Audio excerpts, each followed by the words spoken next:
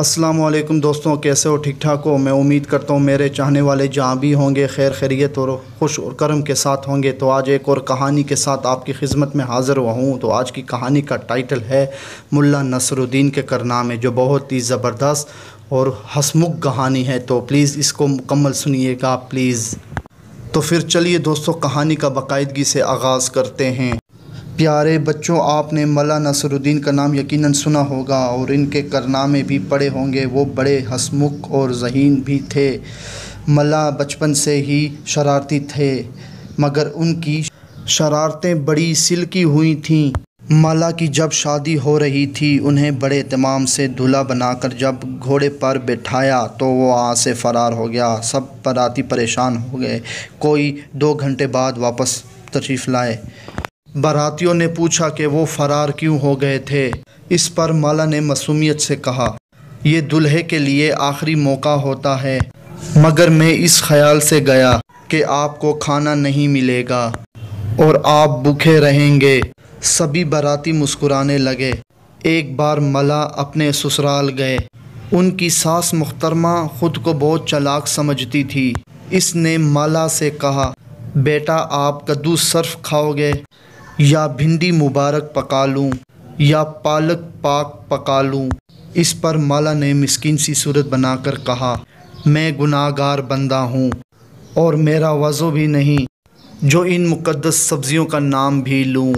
आप कोई बदमाश, नाफरमान, आवारा, मुर्गा पकाएँ। इस पर इनकी सास अपना सामूल लेकर रह गई। मजबूरन उन्हें मुर्गा पकाना पड़ा।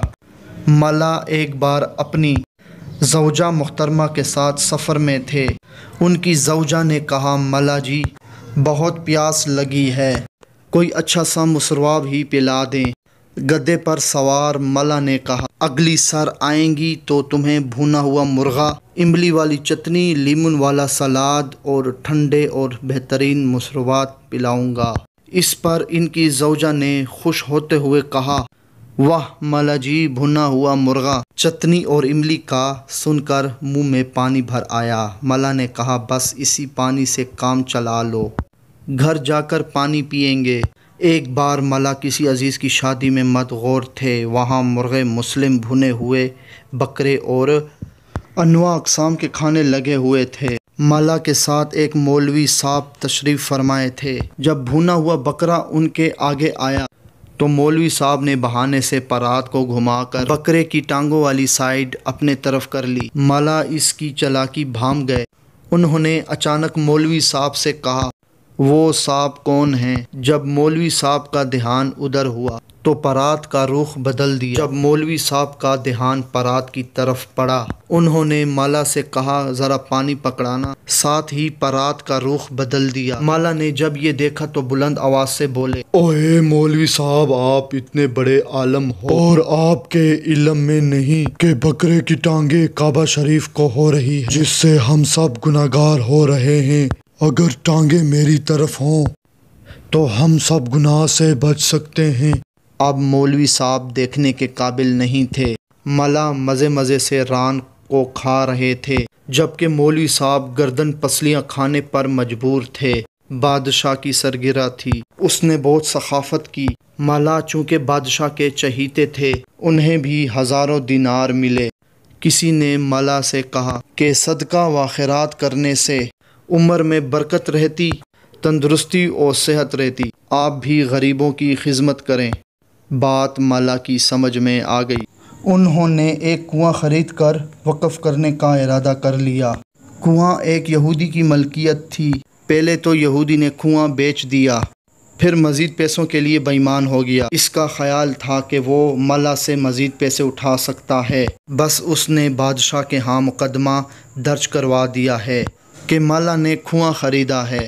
पानी नहीं, इसलिए वो पानी इस्तेमाल नहीं कर सकता। बादशाह ने माला को तलब कर लिया और मुकदमे का बताया। माला ने सोच विचार के बाद कहा, जी हाँ मैंने कुआँ ख़रीदा है। पानी नहीं, आप यहूदी को हुक्म दिया कि वो अपना पानी निकाल ले, वरना हर दिन के हिसाब से हर जान अदा करे।